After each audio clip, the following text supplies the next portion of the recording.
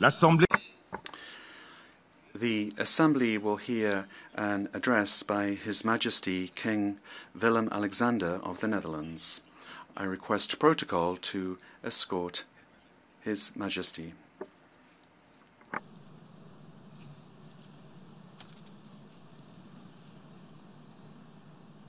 Au nom de l'Assemblée générale, On behalf of the General Assembly, I have the honor to welcome to the United Nations His Majesty King Willem Alexander of the, Ne- the Netherlands, and I invite him to address the Assembly. Your Majesty.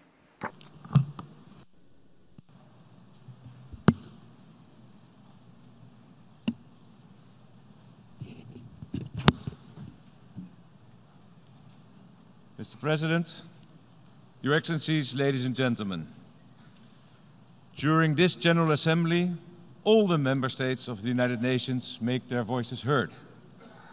And I am proud to be standing in this hall representing the Kingdom of the Netherlands. A kingdom that comprises four autonomous countries located in Europe and the Caribbean the Netherlands, Aruba, Curacao, and Sint Maarten. We are familiar with both the trade winds of the tropics and the cold gales of the North Sea. Anyone wishing to understand our character can best begin with a concept that is close to the heart of everyone in our kingdom freedom. Over the coming year, we will be celebrating the 75th anniversary of our liberation from oppression and tyranny. From the city of Amsterdam to the smallest villages, there will be commemorations and celebrations by old and young alike. The Caribbean part of the kingdom will also reflect on its own contribution to the Allied struggle.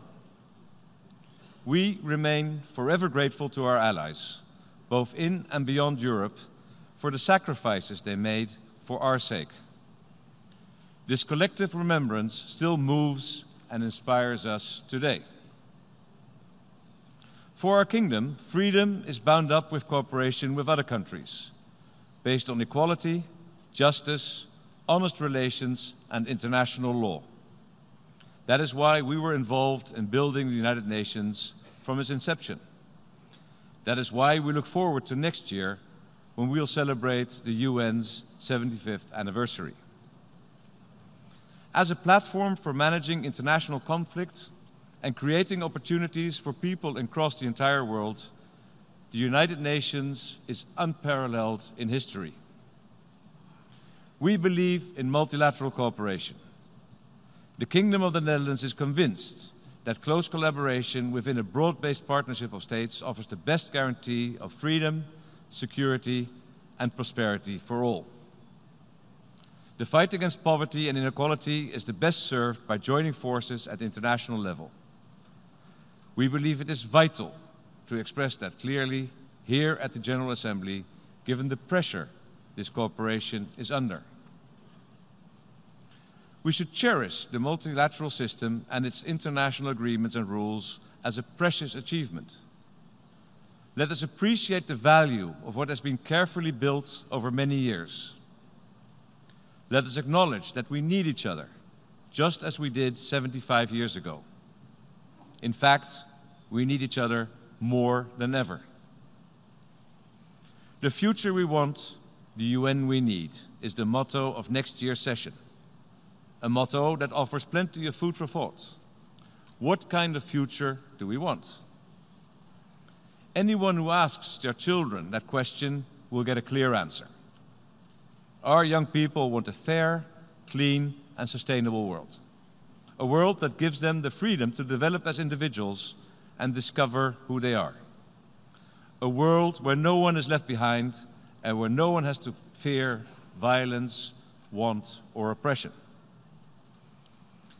If we listen to the voice of the young, it is clear where we need to look for solutions. The UN Sustainable Development Goals will bring the world, imagined by those young people, closer. And that is why it essential, is essential that we put all our energies into achieving them. We are concerned that in several countries and regions, young people risk losing all hope of a better future. One example is Venezuela, our neighboring country to the Caribbean part of the kingdom. We hope fervently that a way out of the current stalemate can be found by means of free and fair elections. In many places around the world, people are not free to themselves. In many places, there's no room for diversity, no respect for the rights and opportunities of minorities, no equality between men and women. As a result, a breeding ground for in instability endures. After all, every human being strives for recognition. If that recognition is denied, tensions and conflict are inevitable. We must hold firmly to the freedom of religion or belief, including for minorities in places where the great majority profess a different faith. No one can prescribe how another person should think. Christians, Muslims, Hindus, Jews, and people without religious convictions should be able everywhere to follow their own conscience in peace. The Kingdom of the Netherlands welcomes the fact that the rights of lesbian, gay, and transgender people and of other minority communities are being laid down in law more and more places around the world. We hope this trend continues. But ultimately, words must translate into action. The fight against discrimination, whether open or hidden, must continue on every continent. If we are to achieve the Sustainable Development Goals, we must protect human rights. The Kingdom of the Netherlands wants to work with you all to champion that aim. We have therefore announced our candidacy for a seat on the UN Human Rights Council from 2020 to 2022 and we hope to have your support in the election this autumn. Human rights are for everyone, even those who have committed crimes and are punished for them. People are not infallible, which means the administration of justice is not infallible either. An irreversible sentence can never be justified. The death penalty is a violation of the fundamental right to life. That is why the Netherlands, together with all other members of the European Union, advocates the abolition of capital punishment worldwide. We care deeply about the plight of those who are the victims of war and violence. Many are refugees. Many have reached the point of despair. It is essential that people whose rights are trampled underfoot know that the UN is on their side. The Kingdom of the Netherlands is actively involved in the Secretary General's efforts to make UN peace missions more effective. The Action for Peacekeeping initiative is a crucial part of that process. It is equally important that we take effective action to combat terrorism and eliminate the factors that fuel it. As co-chair of the Global Counterterrorism Forum, the Netherlands is firmly committed to that goal. Anyone guilty of genocide, war crimes, terrorism, or human trafficking must be held to account. The Kingdom of the Netherlands is determined to combat impunity. This week, we will be hosting an event aimed at encouraging the criminal prosecution of ISIS fighters, preferably in the region where they committed their atrocities. We will also continue our efforts to strengthen the International Criminal Court, an indispensable component of the international legal order. It is unacceptable for individuals responsible for international crimes to escape their just punishment. In this forum, I wish to repeat that under Security Council Resolution 2166, all countries, including Russia, must cooperate fully with efforts to establish the truth about the downing of flight MH17 on the 17th of July 2014. The families of the 298 victims expect justice, and we will not rest until justice is done. Human rights, peace, and development opportunities for all are the cornerstones of the world order we seek to build, and they are at the heart of the Sustainable Development Goals. Everyone deserves the chance to build a decent life and find respite in times of adversity. To that end, the United Nations is working with the member states in all manner of ways. But we're not working fast enough. At our current pace, we will not achieve our goals by 2030. For example, in the area of reducing inequality. We can and must speed up our efforts. The international community has shown in the past that it is capable of great things. 30 years ago, one in three people lived in extreme poverty. Today, that figure is one in 10. We've made a huge leap forward in just one generation. Let us take heart from that and put all our energies into reaching the Sustainable Development Goals. Among the many people working on this goals, these goals is my wife, the Secretary General Special Advocate for Inclusive Finance for Development. For 10 years now, she has fulfilled this role with enormous drive, passion, and pleasure. Anyone who champions sustainable development must also champion climate action. Climate change is one of the biggest threats to the achievement of the SDGs. All over the world, people are feeling the impact. Climate change is affecting our livelihoods, our security, and our health, our living environment, our future. The UN Agenda for 2030 demands that we all take more action to combat climate change. The Secretary General deserves praise for giving this issue such a prominent place at this General Assembly. Never before has international cooperation been so urgent for the future of our planet. Greenhouse gases do not recognize national borders. We can only combat climate change if we work together and we are glad to heed the call to take responsibility and show ambition. Transitioning to a sustainable circular economy is no simple task. Every member state is wrestling with this challenge, including our kingdom. And that is precisely why we all need each other. We must join forces and share our knowledge and experience.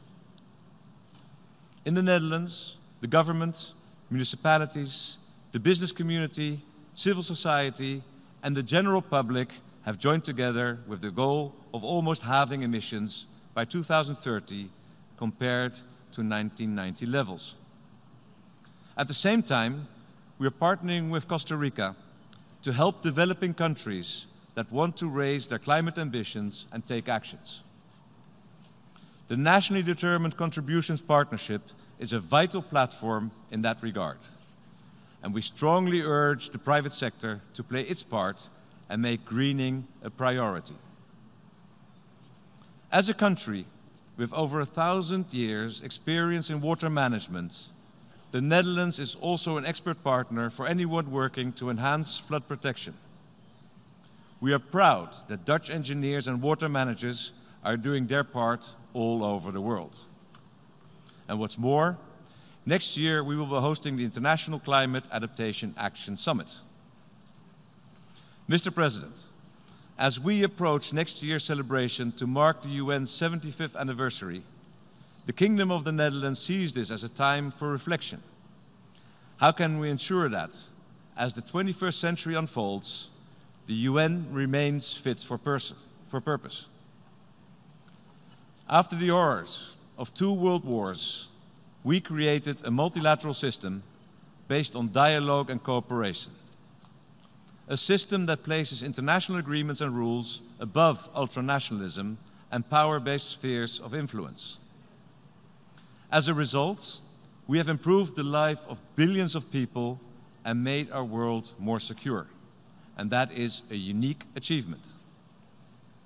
The Kingdom of the Netherlands believes in the need for an effective multilateral system because it offers the best guarantee of stability, peace, and sustainable development. That does not mean that we can simply carry on the way we were. Reforms are needed in order to prevent the system from coming to a standstill and losing its credibility. The reforms, initiated by the Secretary General, must be put into practice as a matter of urgency. He has our full support. To achieve this, it is crucial that member states honor their financial commitments.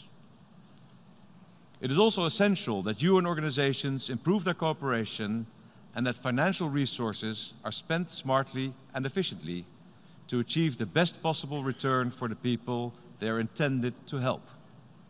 Every person counts, every member state counts. The UN will have an inclusive future or no future at all. Therefore, the voice of the small island developing states must be heard more at UN level. To date, their concerns have too often fallen on deaf ears. Together, we can make our world greater. So let us remember where we began 75 years ago. Let us realize that the building of an international framework for cooperation has given billions of people hope, security, and confidence. Let us retain those achievements and uphold the UN's values. But at the same time, let us rejuvenate our United Nations so it is fit for purpose in today's world. Thank you very much. Au nom de la